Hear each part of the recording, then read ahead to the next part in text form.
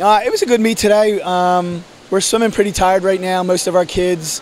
We're entering probably our fourth week of doubling every day, so you know they're they're a pretty tired bunch, and I, I thought they swam you know really well today, all things considered.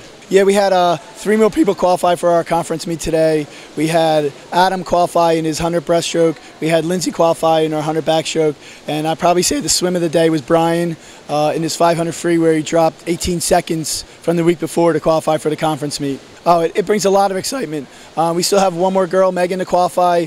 Um, I'm confident she's going to do it next week, but it just gives the team a jolt, saying, okay, they only rested a couple days for this meet. You know, what's going to happen when we rest for two and a half weeks for the conference meet? So again, it does definitely bring life, breathe life into the kids, knowing we have one more full week of, of hard work, and then we start to taper. Yeah, Zach's been great. Um, it's, it's kind of like a running joke for us because his freshman year, he was interviewed on TV and he, he told them on TV he wasn't sure if he was going to swim his sophomore year. Um, and here we are three years later. Um, he was a great leader for us.